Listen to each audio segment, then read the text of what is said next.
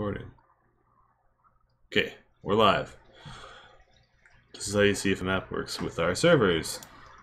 Open the game up. These are not my aliases, don't get excited.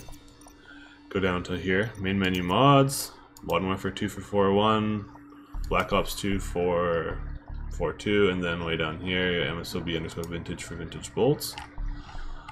So you're gonna open up, so let's do 4.1, gives this wonderful thing, um, you know, start new server, Start new server, you want to make sure you're on LAN, server name, blah blah blah, PunkBuster no. Crash, because crash won't crash the server.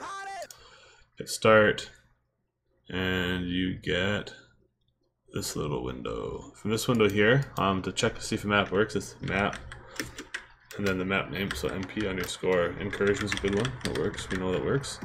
Push enter, all this stuff comes through, you get a hitch warning here. That means that it is indeed working, which is fantastic. Um, to double check that everything's working fine, because uh, this means that it's working with the server, not necessarily that you can get into it with the server. So you just want to right click on your game down here and click on the tag again, because if you just click it brings that window back up, but if you click on like this, it opens it back up. Again, names, nothing important. Join game, change source to local, so normally on favorites. I'm to go up to local, here's your thing, shows your map that you loaded, pings like three, everybody wishes. Double click on that, starts recording, da da da da. Not recording, starts loading. Good one.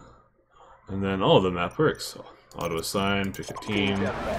Make sure that you can see your hands. If you can't see your hands, it's probably missing the external model, so your guy will show up as a big bogged FX. Um, things will be different just because you don't have the config files, but yeah, that's how you can see if it works. Um, you can alt tab out of that back to this guy here. And then you can load up another map. This is what it looks like when it doesn't work. We'll load Bilko's favorite map, broadcast. It's gonna start loading stuff and it's gonna give us an error. See the limit of a thousand X models. That means there's too many models between the maps and the guns. Click that and, but yeah, that's how you do it.